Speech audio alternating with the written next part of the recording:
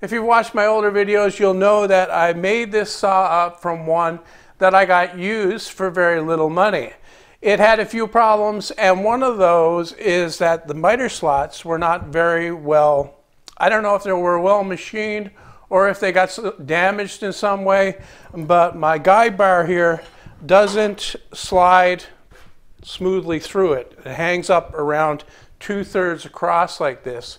Now I'm going to try to straighten that out in this video. Well, the way I'm going to do that is I'm going to find out where it's starting to stick, and it's around here, and it continues up to the end. I've already tried it. it can barely go in. And I'm going to take a piece of plywood that's got a nice square cut on the edge and a file. This is a single cut flat file. And I'm going to use the block of wood to hold the file 90 degrees to the table as I run it back and forth on the edge here to plane down this edge just a little bit.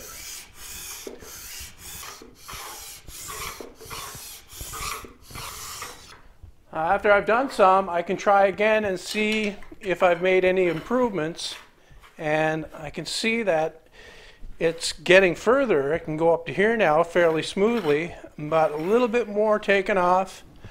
And I think I'm going to take a little bit off this side now. Well, it did take a fair amount of filing, but I'm there now. The guide bar slides smoothly and easily along the full length. There's a minimum of play in the bar as well. The only thing I have left to do with this one now is I want to take my file again and just knock the sharp corner off that was created by me filing the side. That'll be pretty sharp and I don't want to have it there. I know that this is not something that a lot of people will have to do. A lot of people have newer table saws, won't have this problem, but if you happen to pick an older one up on eBay or Craigslist or wherever, you'll find that stuff like this, tricks like this do come in handy and I hope it helps someone else. Well, I just thought I would do a little bonus thing here, talk about hammers for a little bit. Here I've got two kind of hammers, is on the my right, your left, is a straight claw ripping hammer they're called. And on my left, or your right, is a curved claw, more of a finishing hammer. And now I've had this hammer for a while. I actually bought it used at, uh, I don't know, a Goodwill or a Habitat for Humanity store or something like that. Paid two bucks for it. Excellent hammer, excellent head on it. The handle is in perfect shape. It's got lots of character. Actually, my, my most favorite type of hammer is a wooden handled hammer like this. I find it to be the most comfortable.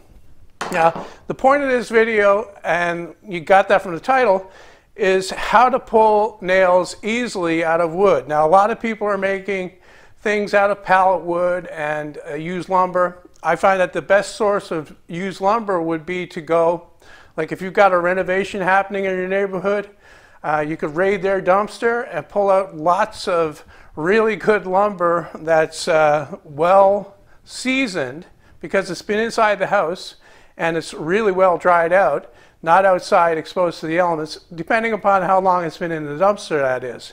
And clean it up, cut it down, and you got some perfect wood. Often the wood you get from a renovation from a house is not hardwood, it's softwood, but you can still make a lot of good stuff with that. In my case right here, I have a rough cut two by eight, I think it is, and it's a full two and a, almost two and a quarter inches thick, eight inches wide, it's got some nails on the top here because it was actually a floor joist in my house that I took out. Uh, to take the nails out, they can be tricky because they get rusty, especially the older ones.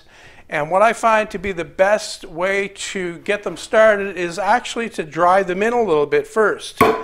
You dry them in a little bit, and what that does is it breaks them free. It breaks the rust around it, and then you can take it and you can pull it out.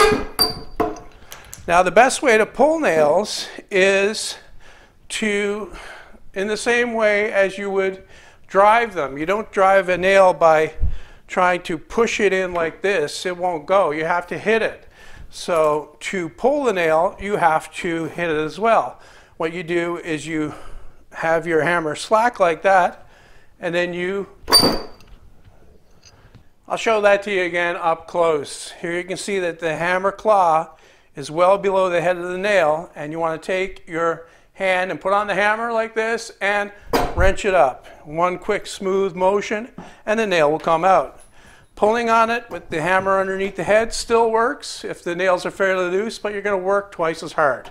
When it comes to pulling nails, the curved one is almost always better for pulling nails than the straight clawed one, although the straight clawed one does have its applications. You're saying to yourself, okay, those are two inch nails. What about bigger nails? Now I have a three and a half inch nail here and I'll drive it in.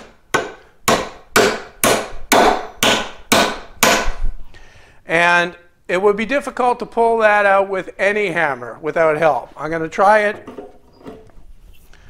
with this hammer. I don't know if you're, I'm still in the camera. I'm going to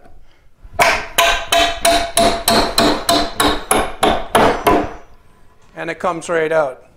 Takes several tries, but it comes.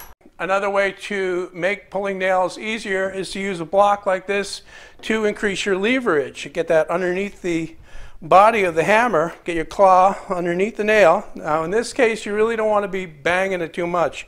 Just want to take your time and pull it out evenly. But with the extra leverage it should come a lot easier.